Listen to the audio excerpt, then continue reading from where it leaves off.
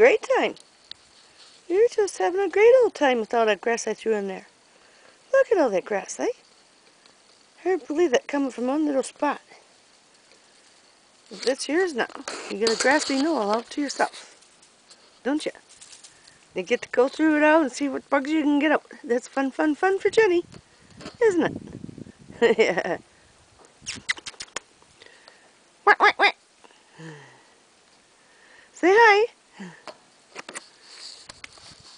Yeah, and you were a good helper, weren't you? Did the mama wear you out?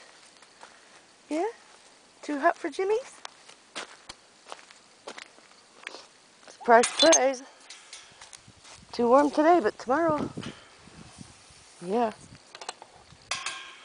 But anyway, cut down this side now. Just a little bit of grass left. It's still frozen right at the fence line, so rather than pull it out and leave just the roots behind, wait till it finally thaws out. This is the pea bed that Evan did.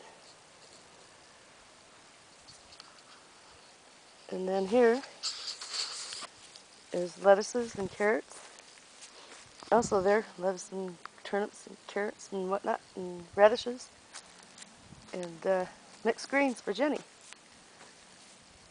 So yeah, that was our job for today. It gets nice out, that's where I'm starting with trees. They're gonna be weed free by the time I get done. Be hard work that one. But anyway, we're getting there. Right, Jenny? Right, Jimmy? You don't look too energetic.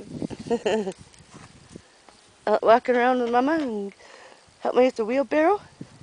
Made you tired boy? Did they make you a tired boy? Poor Jim Jims. Poor Jim Jims.